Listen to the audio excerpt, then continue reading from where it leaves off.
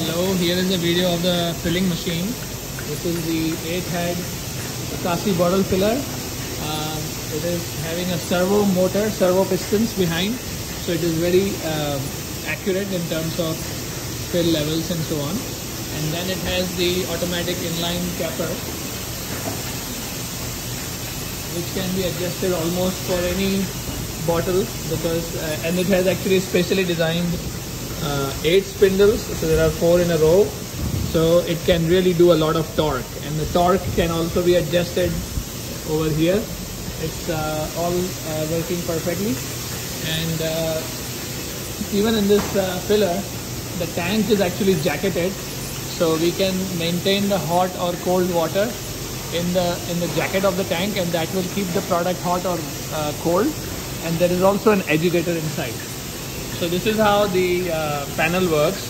So we can adjust the fill volume over here um, of whichever fill volume we need. We can adjust the uh, speed of the filling and we can turn on the uh, off the conveyor. Uh, we can also uh, turn on and stop the mixer from here and also change the speed of the mixer, change the speed of the conveyor. Uh, we can also do a lot of uh, other things like CIP. So there is a CIP system, we can turn on the CIP and this will automatically clean the machine.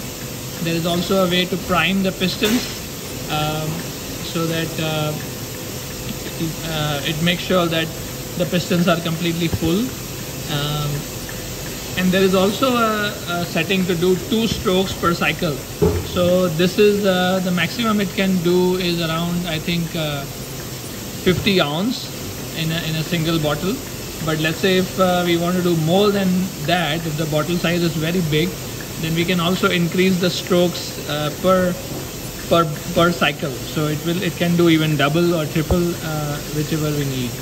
Um, yeah so it's a pretty nice machine and uh, it's uh, from Acasi machinery and we have hardly used it. It's uh, almost brand new. And this is how the servo pistons are on the back.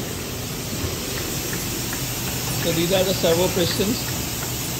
They are managed by the servo motor over here. So it's very accurate in terms of going up and down.